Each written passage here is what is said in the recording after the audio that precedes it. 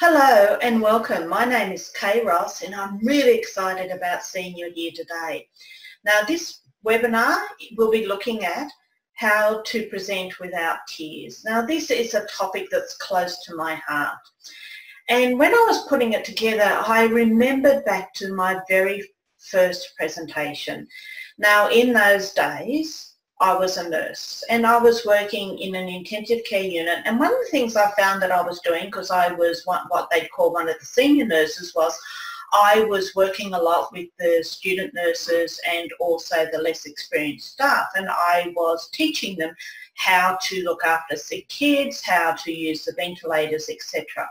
And I loved doing that. So I thought, oh, okay, I'm going to start teaching. So I went to the head of the school and said, I you know, I want to start teaching and I'd love to do a presentation. And she said, great, we're a bit short-handed. So she signed me up to do a two-hour presentation on, of all things, the history of nursing. Now, I knew very little. In fact, I knew nothing about the history of nursing. It had been many years since I'd done my two-hour class on it as a student back in when I was a student nurse. So I thought, okay, two hours on the history of nursing can't be too bad. So I prepared for it and I had a lot of information. Now back in those days we didn't have PowerPoint. We had what we called overhead projectors and we had transparencies. So I prepared about 160 transparencies because I wanted to make sure that I had everything that I could think of and that I had covered everything I could think of. So I had these 160 transparencies. Now for those of you old enough to remember transparencies, you had to write on them with overhead pens and so I used lots of colours and I had pictures and I had all sorts of information and my 160 transparencies all ready for my two-hour session on the history of nursing. So I thought, okay, I'm ready. So a friend and I were walking down the corridor towards the classroom and as I got closer and closer, I could feel my heart bounding in my chest. I felt like I was going to be sick. I was so scared. And I said to her, I said to my friend, I can still remember, her name's Jane. I said to Jane, I've changed my mind. I don't want to do this. I don't want to teach. I can't do it.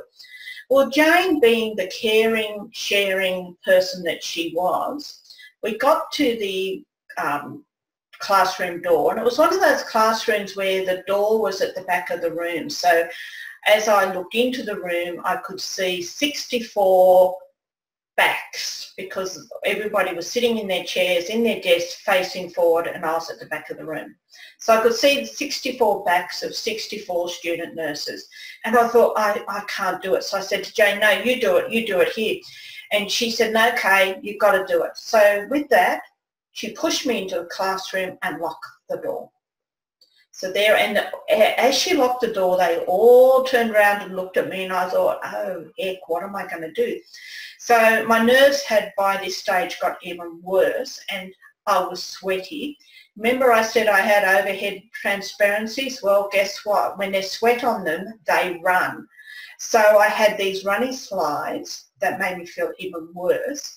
And as I walked towards the front of the room, I dropped them.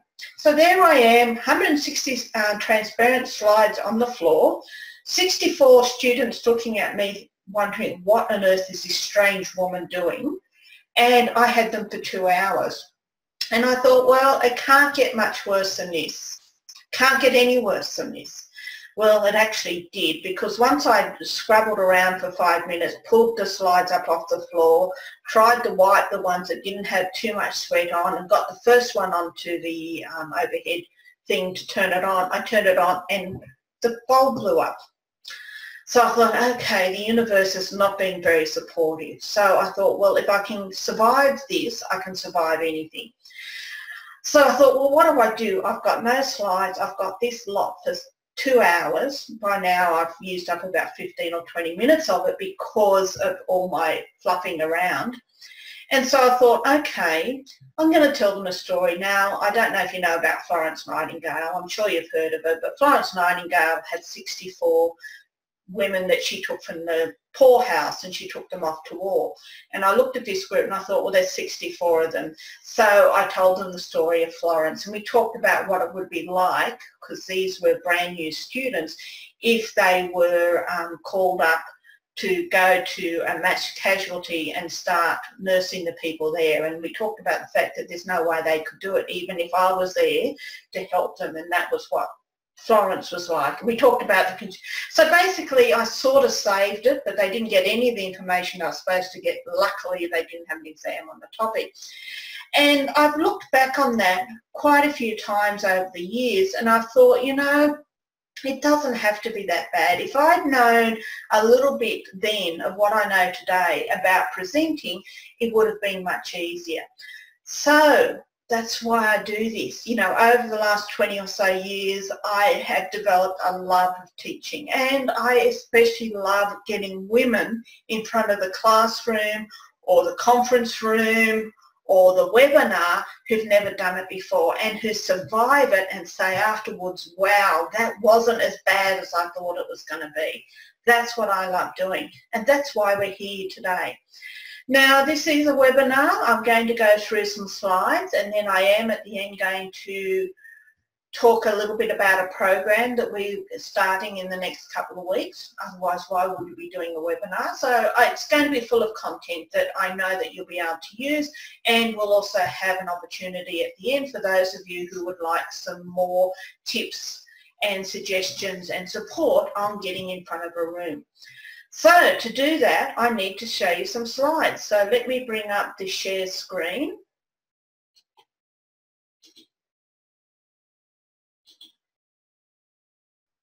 Now, this is the slide screen. Now, I want to talk about this before we go any further because this is what happened to somebody whose webinar I went to um, not all that long ago when they showed a slide and I could see all the other slides down the side. So what the first thing I'm going to say is if you're going to show slides, know how to use it. So here I am, I'm going to bring up the slides and you should be able to see that slide there. So I'm going to look at some slides and talk about using slides and how to present. And as I said, the topic today is uh, present without tears and you can see me up in the corner and I'm not crying, which is always good. So let's start. About me. I'm an Aussie. For those of you who haven't picked up on the accent yet, I live on the Gold Coast in sunny Queensland, which is on the east coast, best place in the world to live.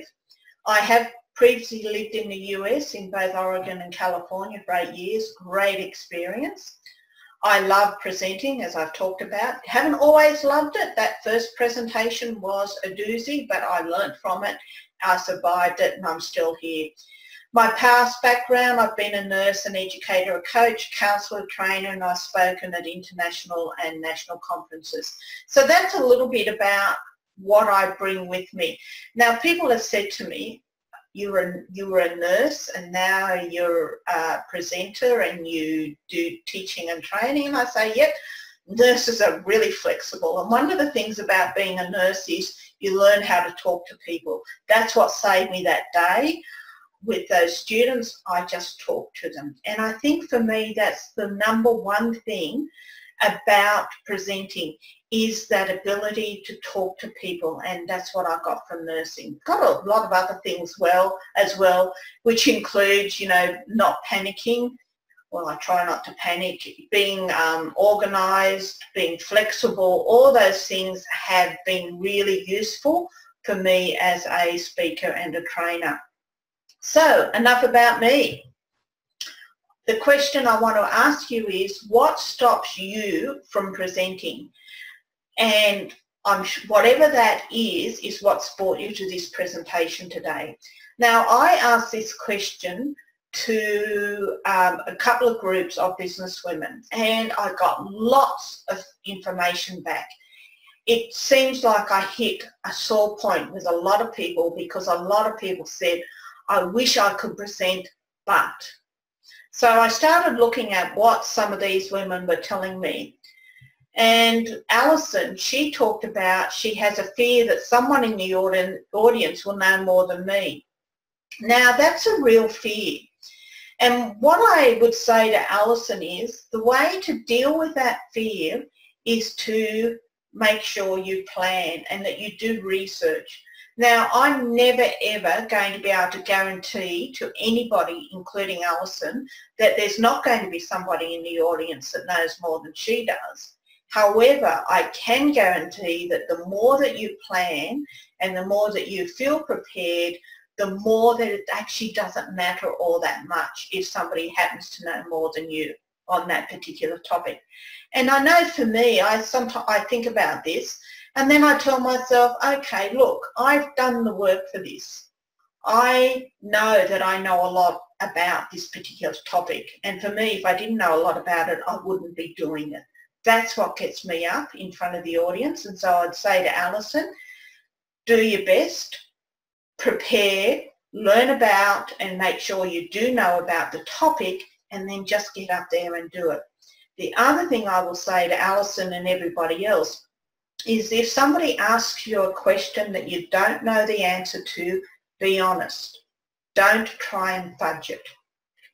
If, if somebody asks you a question and you don't know the answer and you try sort of to give, you know, a bit of an answer and you're not sure but you waffle on for five minutes like a politician, they're going to know it. And the other thing is they're not going to trust you. If instead you said, wow, that's a really good question. I'm not sure about that one. Does anybody else know the answer to that? And you can guarantee that pretty much somebody in the audience will be able to say something. If not, say, well, look, that's something that um, I'll have to do some research on. So what I'll do is I'll find the answer and I'll get back to you. Great question, thank you. And we all learn from that. So never ever fudge. If somebody asks you a question you don't know the answer to, be honest, ask your audience if anybody else knows the answer, and if not, be honest again and say, okay, I'll have to find the answer to that one and I'll get back to you. So um, another fear that quite often people talk about is that they're going to forget everything. Isabel actually said her fear was, I'm going to forget everything, including my own story. And I understand that when you're nervous, it's almost like everything just drains out of you and you're left there standing with nothing in your brain at all. So to, Alice, to Isabel, I'd say have some cue cards. And on the cards, just a couple of dot points with a couple of words on them. So that if you do forget everything, you know you've got your cue cards. And I know for me, those cue cards are a lifesaver. I still use them. So having them there actually gives me the confidence to start and most times I haven't needed them but if I do need them there they are.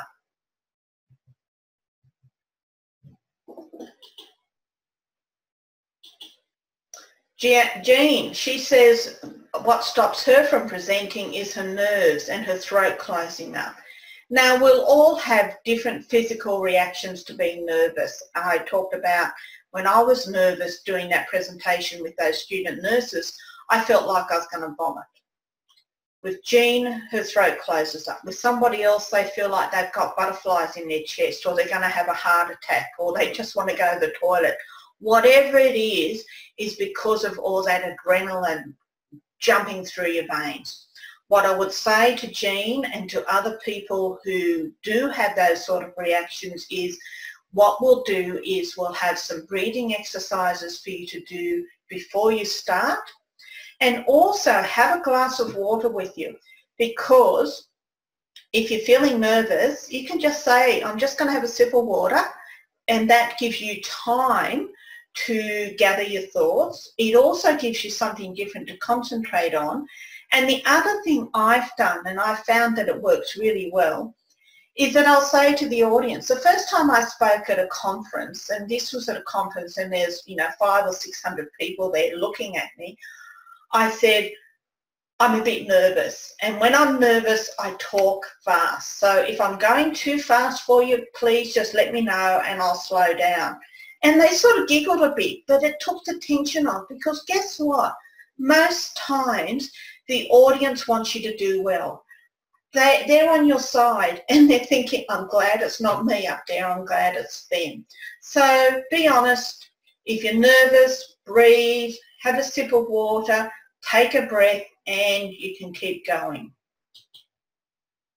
Jess says she has a paralysing fear and she's scared that if she gets up in, in front of somebody, she's just going to freeze. What I would suggest with Jess and with other people who uh, have this paralysing fear is to practice. Practice first in front of a mirror.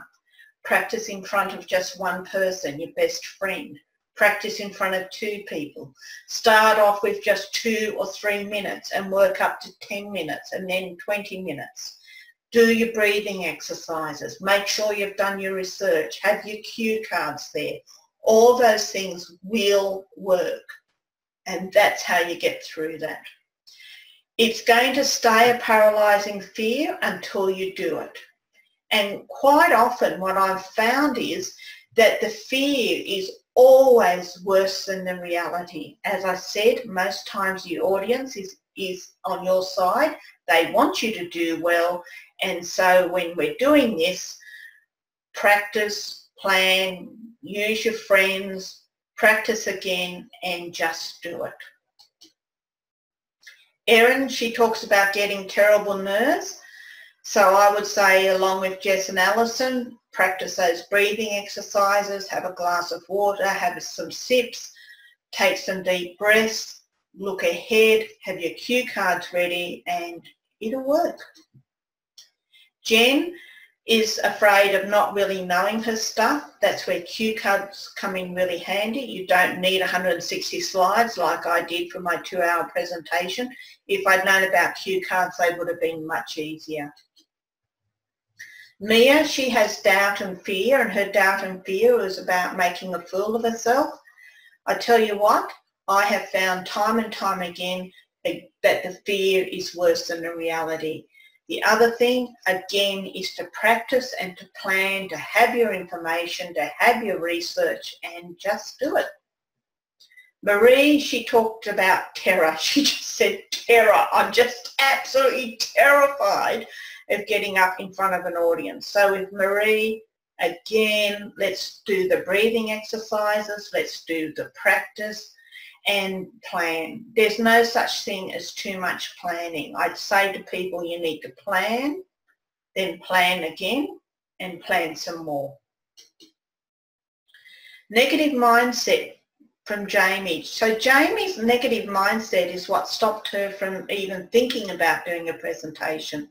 So what we need to do with Jamie is to look at that negative mindset, find out what it's saying to her and turn it around. Fiona, nerves. Norma. Now, Norma's was a bit interesting. Hers was fear of success. Now, that um, could also come in with that mindset stuff. So where has that fear of success come from? What does that mean for you? What would it, what would happen if you were successful? Those are the questions we'd ask with Norma. We'd work on those.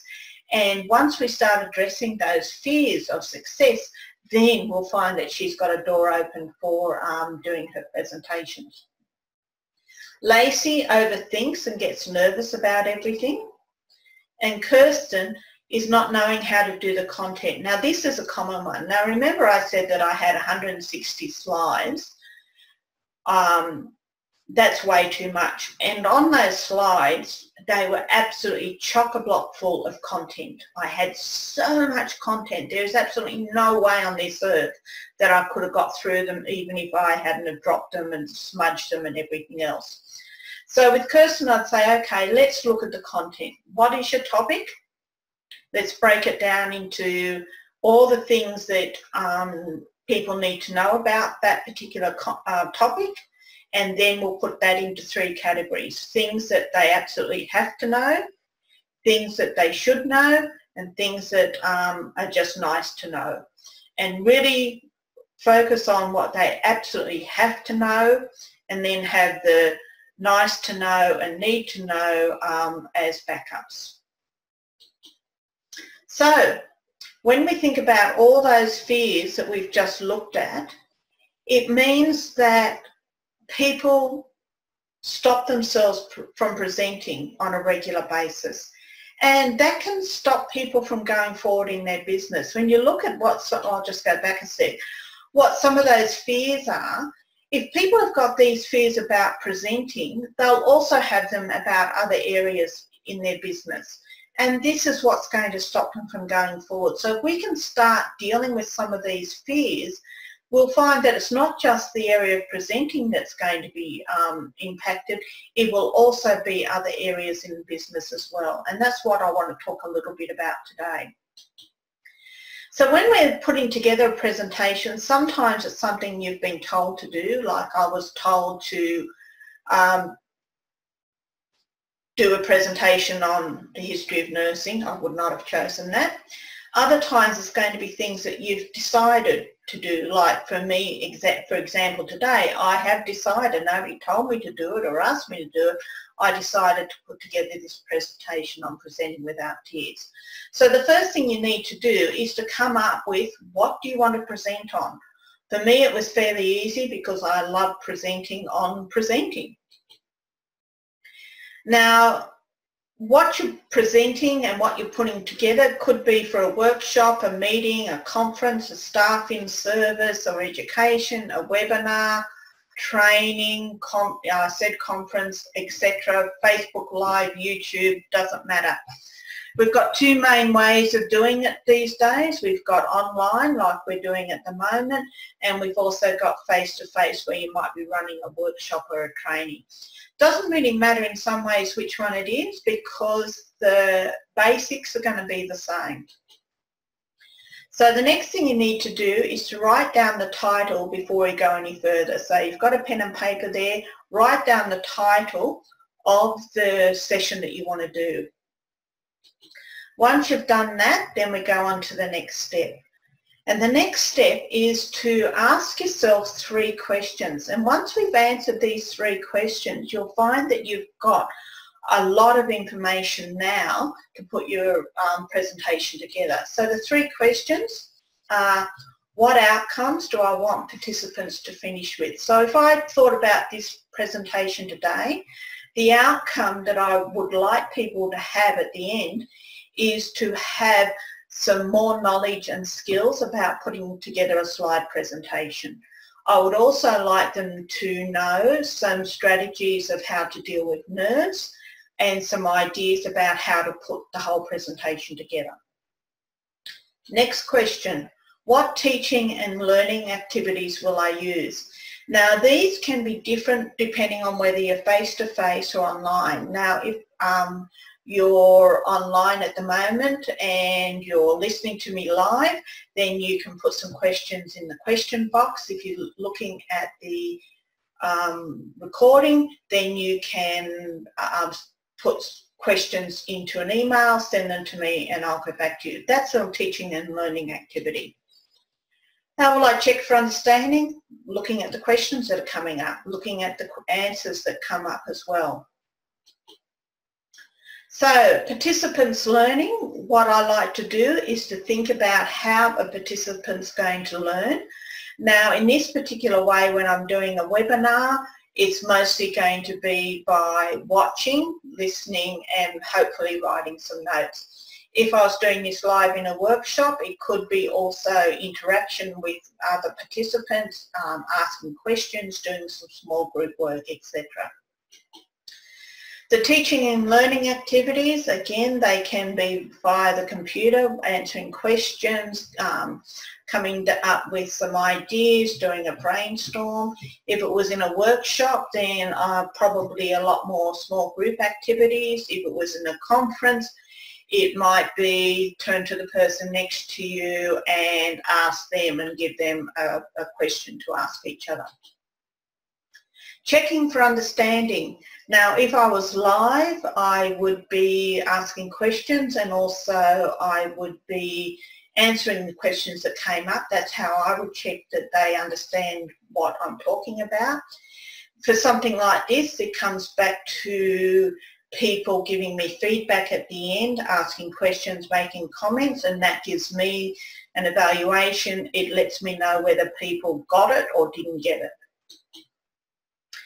So I want to spend some time on looking at putting slides together. Now remember at the beginning I showed you the difference between the presenter view and the non-presenter view of having slides. Now I happen to use PowerPoint.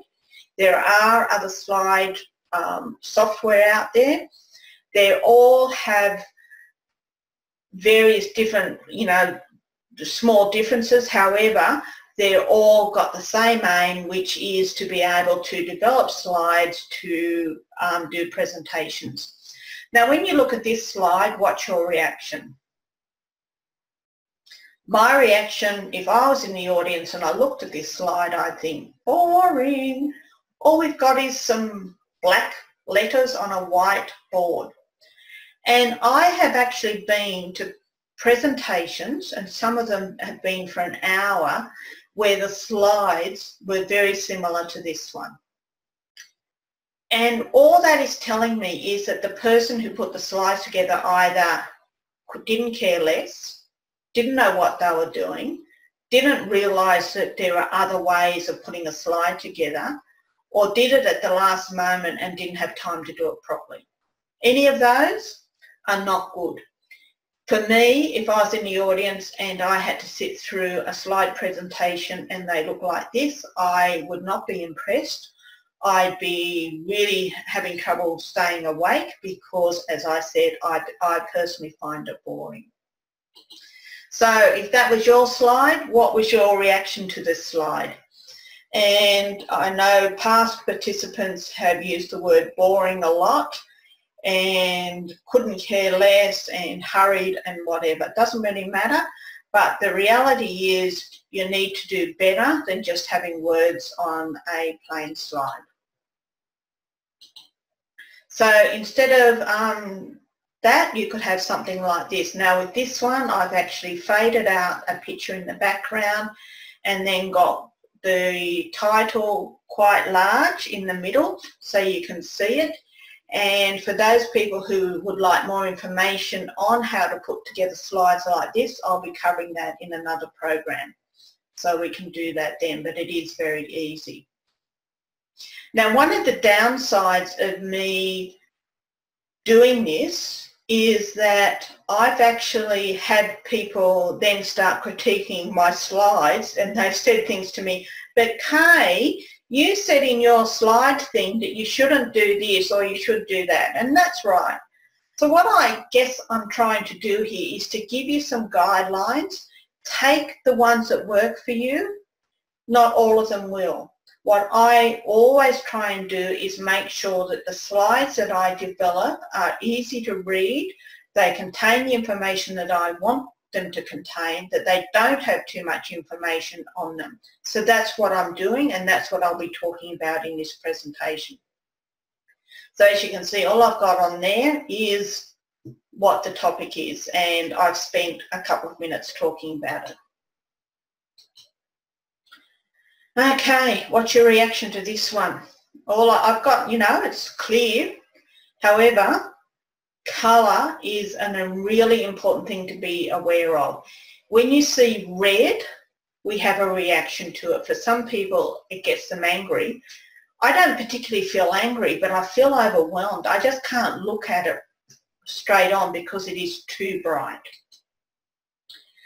But information is important. Each line in the slide should contain less than five words and you should have um, space in between each line. The other thing I would say also is, is that only have up to five lines on a slide. Any more than that, take, cut it back and or make a second slide.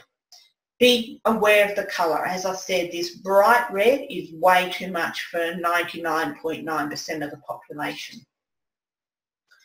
So two or more simple slides are better than one complicated slide. So if there's too much information, put half of it on a second slide. Each slide should illustrate a single point or idea. What do you think I'm trying to illustrate here? Any ideas? You're right. Yes, what I'm illustrating is light writing on a light background doesn't work. Um, I've used large and legible letters, but it still makes it difficult to read. So instead, we should have light writing on a dark background. Now, I'm not necessarily um, a fan of this purple, whatever it is, but at least I can see the yellow much easier than I could here. Okay, look at the difference there and there. I personally would not use this background. It's not my um, choice, but it's one that's available. It's a little bit too busy for me, but some people like it. It's going to be a personal choice. Don't crowd the slide. I've already talked about making sure that each line is less than five words and less than five lines on a um, slide. Use solid colours instead of patterns and charts and graphs and use simple tables to present numbers. So for example, oh yeah, okay, wasn't that clever? We had some animation. Animation I do like. I like bringing in lines one at a time and you've seen me do that a couple of times already. However, that, what I just did there, all that does is number one confuse you. You can't read it while it's swinging around and the only other thing it does is show you how clever I am. Other thing I'll say about this particular slide is there's no, there's, what's the point of having red and black? We don't need it. I would stick with the one colour and I would have some sort of background on that. This one's too crowded and it's too busy and it's overwhelming. The 3D um, makes it really hard to understand. And we've got you know the checks we've got the stripes we've got the red and we've got that greeny blue. It's way too much happening there. It is much better to just talk about the numbers. So instead of having all this we could say that um, you know we've got 20 sales here in the first quarter of hats and we had 30 sales of red jackets, etc., whatever it is. And as you can see, this um, got better in the second quarter, third quarter and fourth quarter, but it's just too overwhelming. Let's make life simple and don't um, use all those pattern fields. Now this has got some interesting information on it. I'm not going to read it to you, but I have been to presentations where somebody will stand there and they will read this word for word. Now there's a couple of problems with that is, number one, I've got way too much information. It's not big enough. People up the back will not be able to read it. And the other thing I will say is it's got nothing to do with this picture. So why on earth have we got a picture of a woman cooking sausages over a campfire? I've got no idea. I do love pictures. I use illustrations a lot. However, they need to have something to do with what the topic is. You don't stick a picture in just for the sake, sake of it. And when you're um, putting your information in, stick to the five words per line, five lines per slide, and by doing that, you can have your um, letters quite large, at least 36 point. Any smaller and people at the back won't be able to read it. Any smaller and people who are watching this who have, you know, maybe a little bit older and need glasses, they need, you know, at least 36 point. Keeping it at 36 point also encourages you not to have too much stuff on it. So the problem with this slide, too much writing, and the picture's got nothing to do with what the topic is. So this one needs to be absolutely redone again. Again, I've got way too much information here. So it's, um, I think, 13 or 14 points, too many, and I could stand here and, or sit here and read them to you. I'm not going to, but don't do it. It's too much. And the thing that happens is every time, I brought this up and most of you are probably still reading it. I will give you this um, in a handout if you would like it, but the fact that you're reading it means you're not taking any notice of what I'm talking about and that is probably not a good idea. So keep it simple, keep it short, and if you need to, put it into two or three different slides. Okay, I want to talk a little bit about pictures here. Now, we've got a picture of a guy falling asleep. So you've all seen that, and then I can bring up that did you know that 92% of people will fall asleep during a boring presentation? This happens whether it's online or face-to-face. It's up to the presenter to ensure that their materials keep everyone awake and you don't want to be known as a sleep-inducing presenter. Okay, that information's pretty good, but did I really have to have it all written down? Did I have to read it out to you? The answer is no. So instead, instead of having all this information here, let the picture tell the story. It's a, it's a good picture. So instead, I could have it as a large picture and then I could start talking about it. And I could say to you, did you know that during a, uh, a boring presentation, at least 92% of people will fall asleep? It's your job as a presenter to make sure that doesn't happen by having an engaging presentation that keeps people awake much easier. You will remember this 92%. You will remember this guy asleep at the keyboard. You won't remember all that information that I read to you from the previous one. Okay, pretty picture here. What have we got to say about it? I'm saying limit transi transitions and um, anima animation. I didn't need to bring this in one letter at a time. It's confusing, it's distracting, and it takes away from the message. I also don't need to have that swinging round and running around the slide. All that does again is tell you how clever I am at using animation. So unless I, I actually have used something similar to this when I had a bouncing ball, I can't remember what the topic was, and I had the ball bouncing around because of course balls do bounce around. But even though this guy's fallen asleep at this guy's presentation, doesn't um, give me permission to have it bouncing around the slide and give, giving you all um, a headache. I want to remind us to use colour well. I've already talked about light on light and dark on dark doesn't work so we want um, dark colours on a light background that's my particular preference if you like dark backgrounds and have a light colour Red is not a good colour to use on a, all the time. It can be good for highlighting. Colour evokes feelings. Now I can tell you it took me ages to do this because I had to do each colour at a time. It's not worth it.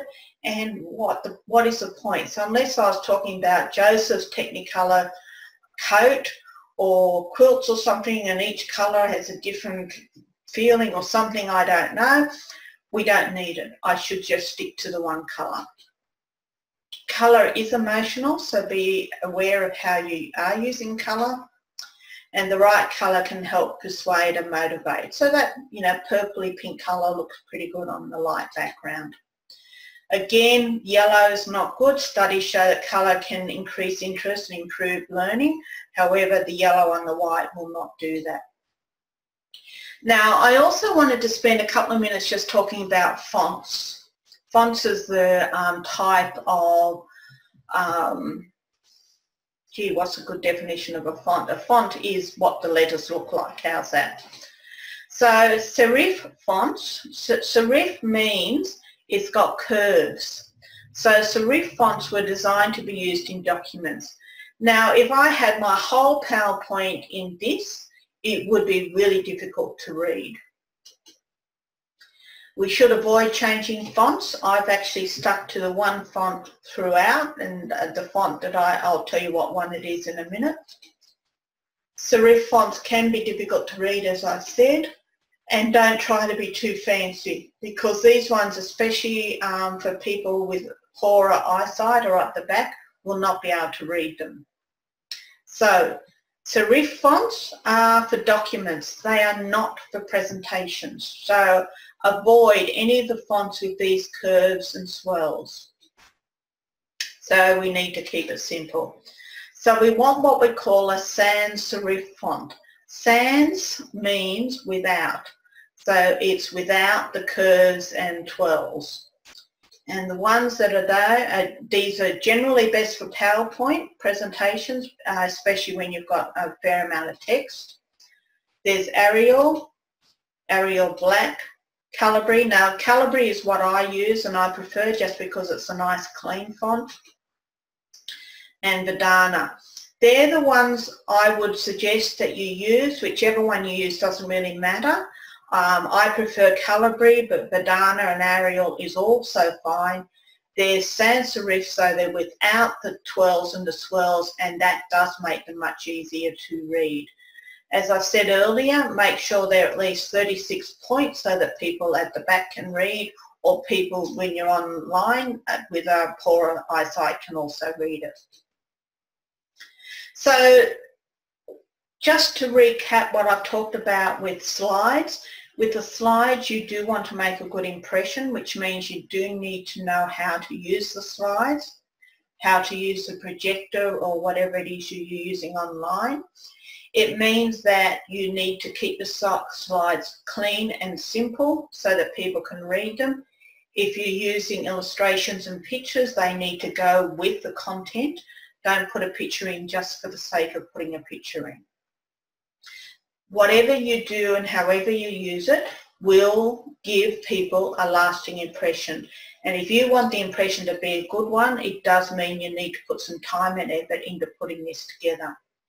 So when you think about the impression that you're making on people, for most of us, we want to be professional and engaging. So we can still be casual. We don't have to turn up in a power suit if we're doing a webinar. Some people, if you're comfortable, then yes, okay. I personally don't even own a power suit. That's not who I am. So part of this is being who you are. And if you're a little bit more casual, then that's okay, but you can be casual and professional at the same time. Always check for spelling, check your grammar, and double check and triple check your slides before using. There is nothing worse than having a slide come up and you look at it and you say, oh, sorry, I've got a spelling mistake there. If you're not sure, get a colleague or a friend to double check for you. Don't rely on the spell check because the spell check just checks words and you could have the wrong word in there. Ensure you know the technology as I pointed out at the beginning with the slides. Make sure you know how to put it on slide, uh, presentation view and if you don't know then ask somebody. Lesson plans are a good idea. When I first started putting presentations together, I thought they'd be a waste of time. I now love them because they have um, saved my backside a couple of times by reminding me of what I'm doing and how I'm doing it, especially when things don't go according to plan. So when you're putting a lesson plan together, think about how you're going to introduce yourself and what you're going to be talking about think about the content, your conclusion, and your lesson plan should include activities, any breakouts, questions and answers. I always have extra questions to ask at the end if I have extra time at the end.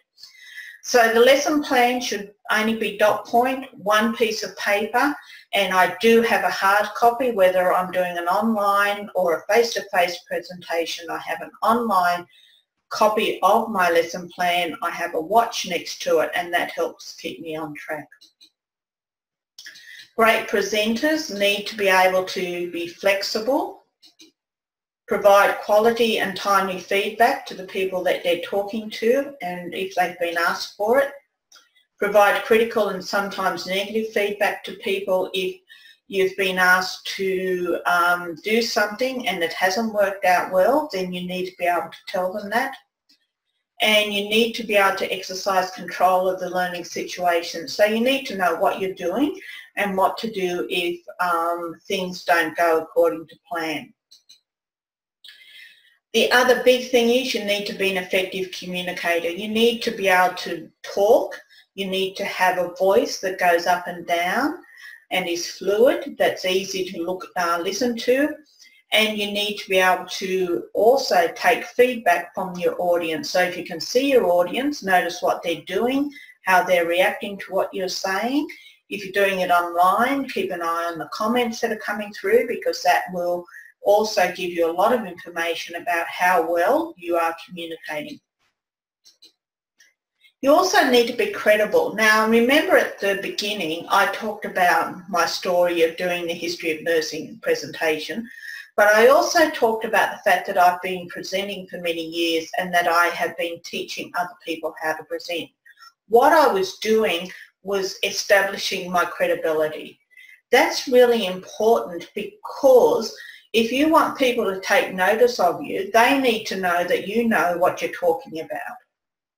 Now, I've done sessions that for the first time, but I've always been able to talk about how I have used that information in previous situations. So, for example, the first time I got up to teach people how to present, I talked about the fact that I'd been presenting for many years and was now using what I'd learnt as a presenter to, to teach others to present.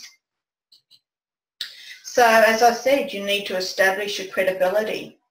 Know your audience. Find out as much about your audience as you can beforehand. Who are they? Where have they come from? And what are their expectations?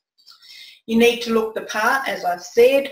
You need to be professional. Doesn't mean you don't can't be a little bit casual at the same time. Know what you're talking about and be IT savvy. If you don't know how to work the IT, then find out beforehand. Make sure you use updated materials. There's nothing worse than somebody talking to you about stuff that's 10 years old. So you need to stay abreast of new developments in your area of expertise. Now this is especially important for people who do the same presentation uh, um, over and over. So if you're presenting material that you've presented previously, you don't just walk in with what you've done before, you walk in with an updated version of what you've done before. So stay abreast of what's happening in the world and make sure that you do update your presentations to keep up to date. Now one of my um, pet peeves with presenting is time with people who either go too fast or too slow. So one way around that um, is to ask yourself how much time do I have? Put aside probably five minutes for the introduction and five minutes for the conclusion.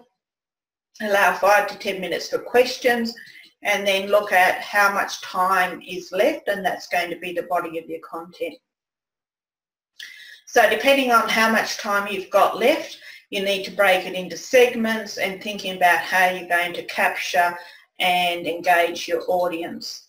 So it might look something like this. Uh, your intro would be around five minutes, the body 40 minutes, and in that 40 minutes you've got a 10 minute discussion, video, you might have a video to show for five minutes, do some small group work for five minutes, so we're up to 20, maybe a role play for 10 minutes, brainstorm for 10 minutes, and there's your 40 minutes. Conclusion for five minutes, so there's your 50 minutes and then you've got five to 10 minutes for questions. Always have a backup plan. Now, I learned that I was asked to speak at a conference and I think I was the second or third speaker of the day and I was given my topic and I looked at the topics before and after me so I had an idea of what other people were going to cover. So I rolled up for my hour's presentation and I got up and I said, you know, hi, my name's Kay Ross, etc., etc., etc., and today I'm going to be talking about and talked about that, told them what the topic was. And they immediately said, oh, well, the person before you's already talked about that. And I went, oh, and before I had a major panic, which is what I felt like doing, I thought, okay, take a deep breath and what can we do? So I said to the group, luckily it wasn't a huge group, I said, okay, so what did they talk about? What did they cover? So they gave me um, an overview of what they talked about. So I said, okay, and I'm thinking, okay, there's a couple of things I was going to do as well. So I said, So if I then start with this, this and this, is that okay? And they said yes. And I thought, phew, thank heaven. So I had three or four points that this other person had not covered and I ended up expanding on those by asking them questions about them, asking them what their experiences are, etc. And I managed to wing it for that hour. So the backup plan, I hadn't thought about it beforehand, but luckily I was able to wing it and get through that hour's presentation.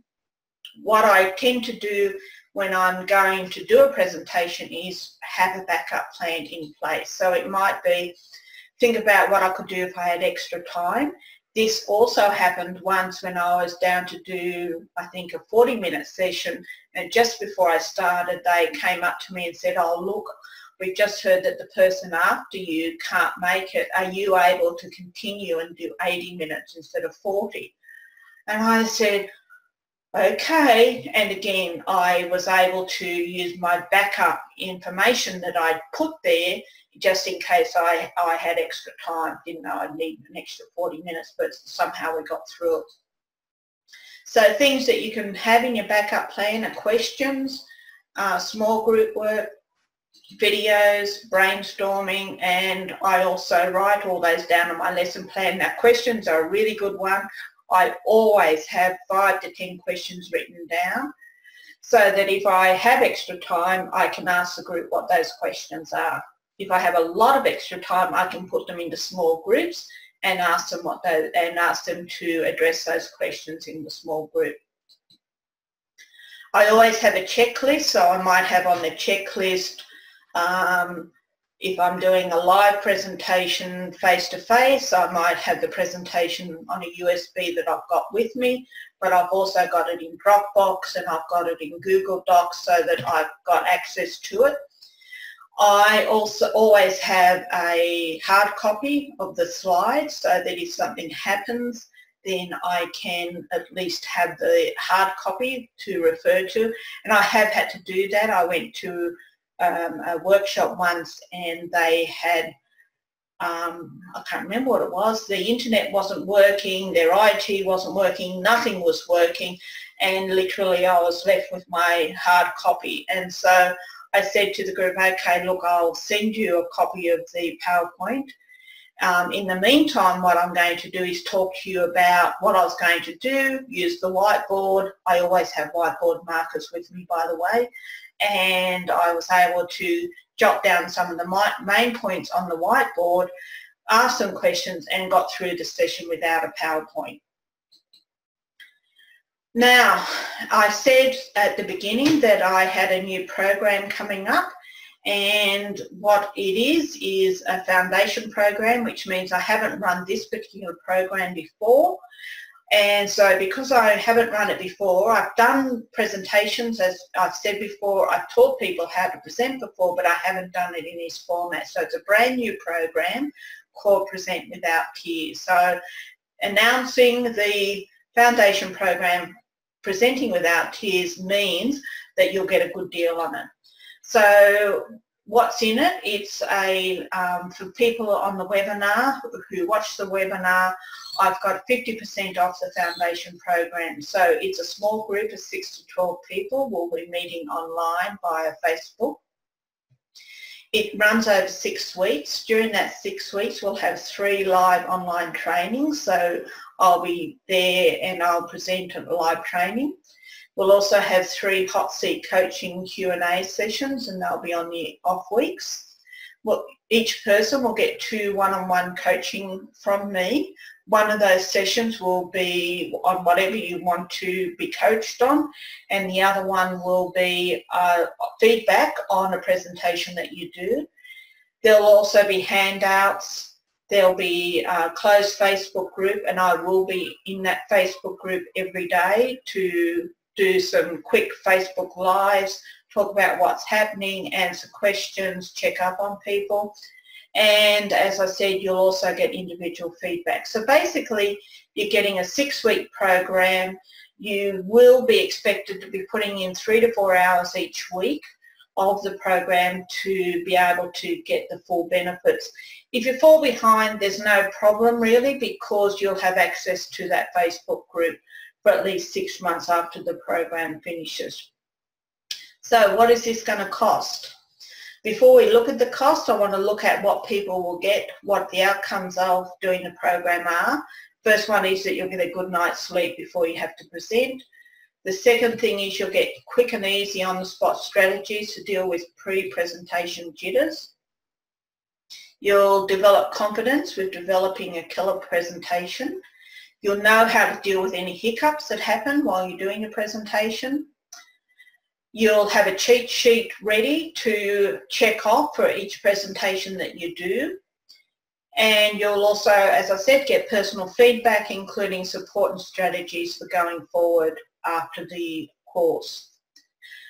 So to get all that, and that's a lot, you, it's a one-time payment of $597, which works out to be less than $100 a week.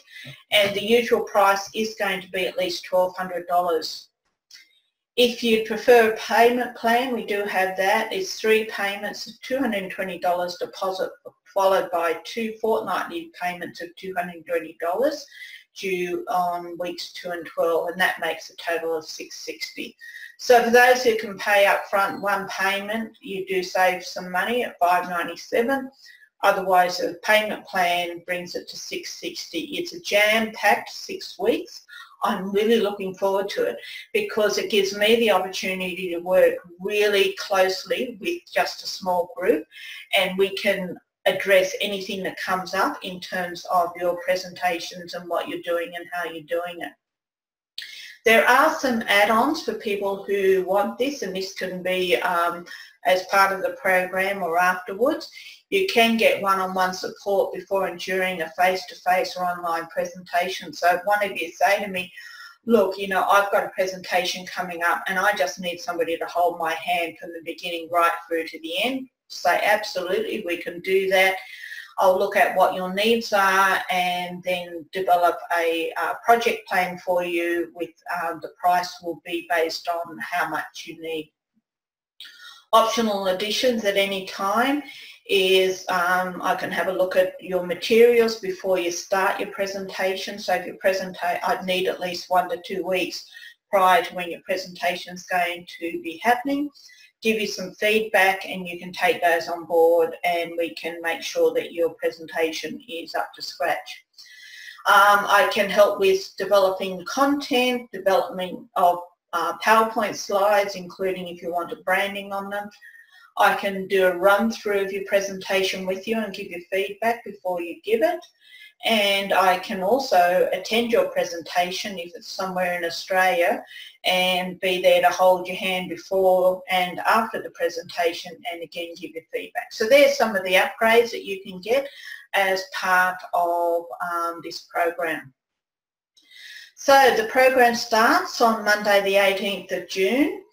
Uh, the times will be um, will be posted after I know the time zones of everybody. So what I'll do is if I've got people from different time zones, I'll make sure that at least everybody gets two opportunities to attend live at a time that's really good for them.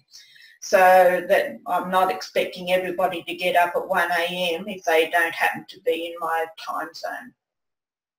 So times will be negotiated for the live calls after we start, but the program starts on Monday the 18th of June. The webinar bonus, that is the 597, is available until 5 o'clock on Monday the 11th of June. If you're interested, if you've got any uh, feedback or questions or you want to know more about the program, then please uh, email me, k at kayrossbiz.com. If you're ready to register, let me know and I will send you an invoice and also an invitation to the closed Facebook group. You can also PM me on Facebook. So basically six-week program starts on Monday the 18th of June. The bonus is available until the 11th of June. $597 Australian as a one-up payment. You want a payment plan that's three payments of $220. So it's a good value and as I said, it'll be at least twice that after the foundation program. So I hope you found this useful. Um, we've covered a lot of information today. It gives you an idea of some of the information that we'll also be covering in the um, Present Without Tears program. So as I said, my name's Kay Ross. My email, kay at kayrossbiz.com. You can also look at my website, kayrossbiz.com. Please, any questions, feedback, comments, let me know and I look forward to um, see if that works. Talking to you soon. Thanks very much and I'll see you later. Bye-bye.